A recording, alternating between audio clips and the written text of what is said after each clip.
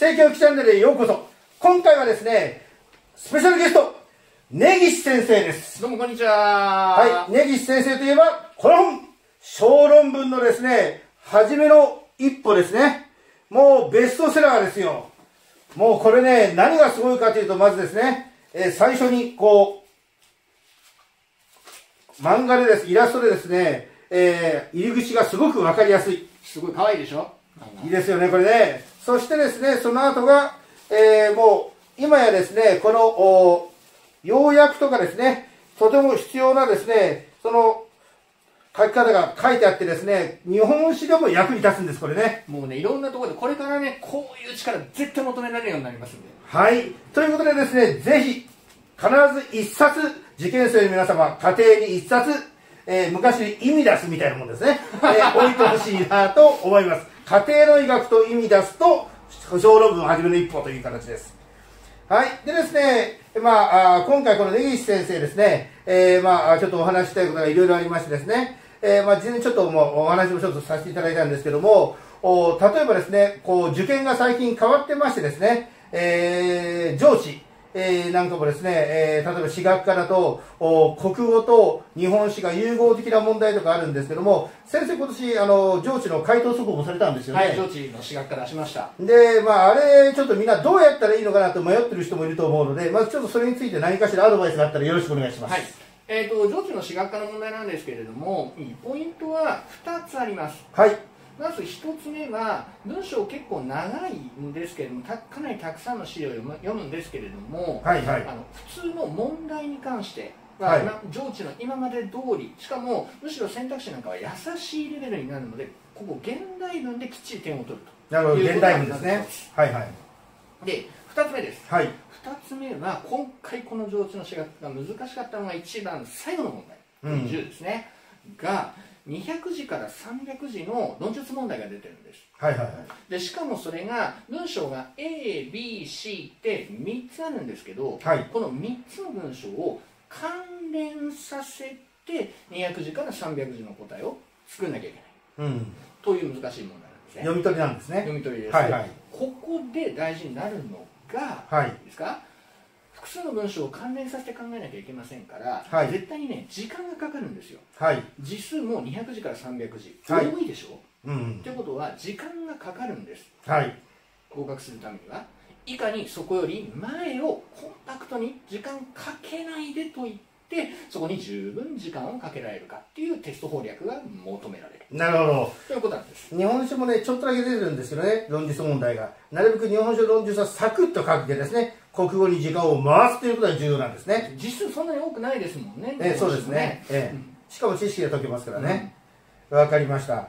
まあ、とにかくですね、もう、こう書くということがね、日本史も何も多くなってきてますんでね、えーまあ、そういうことまず慣れて、あと、お根岸先生なんか結構添削もされてあげてますもんね。もうバッチリですね動画でやったりもしてますからねだからまあ、根岸先生のツイッターで最近問題も出されてるんですよね。はいワンツー小論文という講座をやってますので140字で小論文を書く練習できます無料ですよ、無料。無料ですとにかく書いてですね、添削してもらうことをやってください。私もね、授業で毎回今年からね、えーまあ、基本的に義務でやってもらおうと思います。義務ですよ。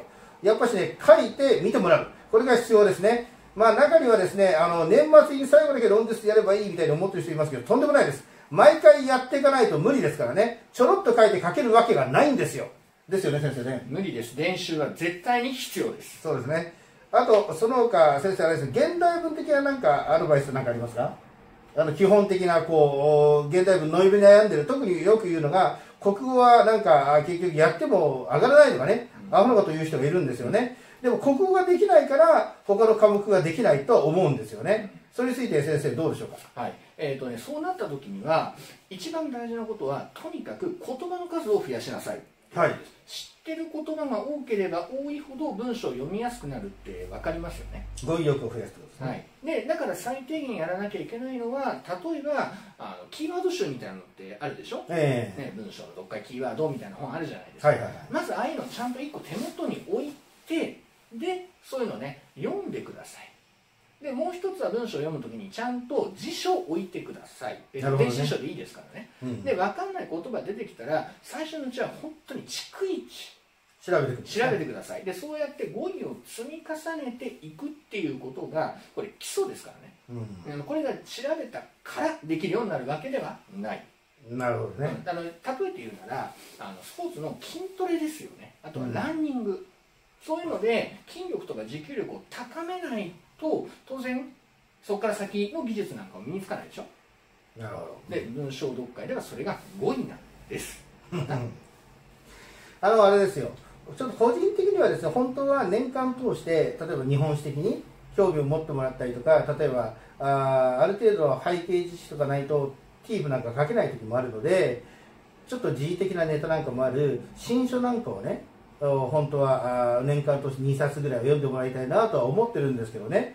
だけど現実的にそこら辺までたどり着かない人も多そうですよね。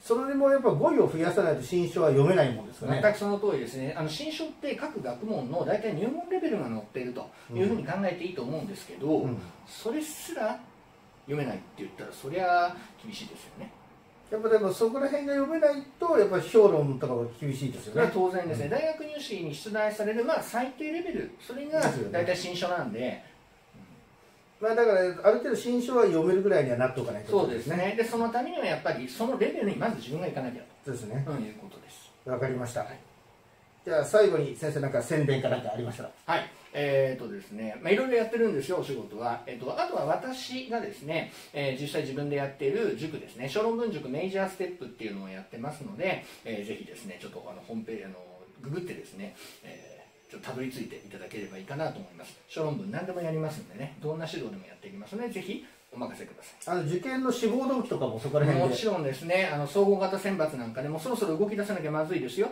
うんので、えーしっかりやりましょうね。では皆さん、根岸先生が皆さんのね、強いパートナーとなってバックアップしてくれますんでね、ぜひ合格を勝ち取りましょう。ではまたお会いしましょう。さよなら